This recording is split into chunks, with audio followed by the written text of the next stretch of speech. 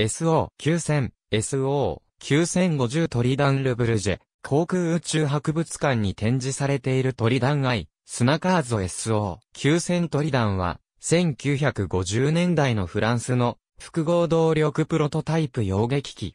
超音速で飛行する能力を有していたが、1957年7月、試作機12機が製造された時点で計画は中止された。フランス空軍は、シュドウエストに拠点防衛用撃機の開発を命じ、研究は1948年10月から開始された。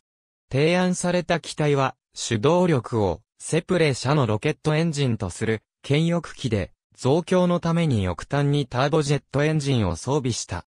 初飛行は1953年3月2日に、テストパイロットのジャック・グウィーナーによって実施されたが、ターボジェットのみを使用したために、離陸には滑走路1杯を使う必要があった。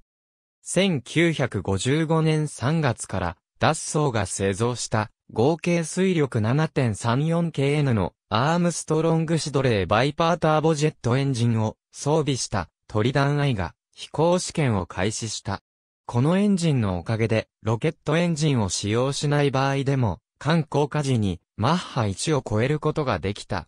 トリダンの試験飛行は、ノンフィクションライターのビル・ガンステンによると、1954年9月に、ロケットエンジンが装備されるまでは、身の毛がよだつようなものだったと描かれている。18ヶ月間に100回以上の試験飛行が実施され、最高速度は、マッハ1.8、到達高度は2万メートルに達した。トリダン2のうち1機は、1957年5月21日に、事故のため失われた。計画は1957年7月に中止された。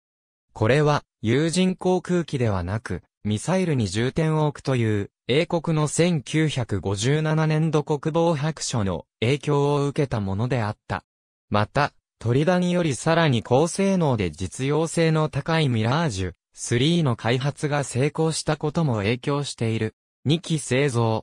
初号機は1952年の後半に完成した。2号機は1953年9月の初飛行時に墜落した。3チャンバーのセプレ481ロケットエンジンを装備し、2755lbf の水力を発生した。先行量3機として1953年に10機が発注された。より高出力のチュルボメカ社製のガビゾ、ターボジェットエンジンと2チャンバーのセプレ631ロケットエンジン。初飛行は1955年12月21日であった。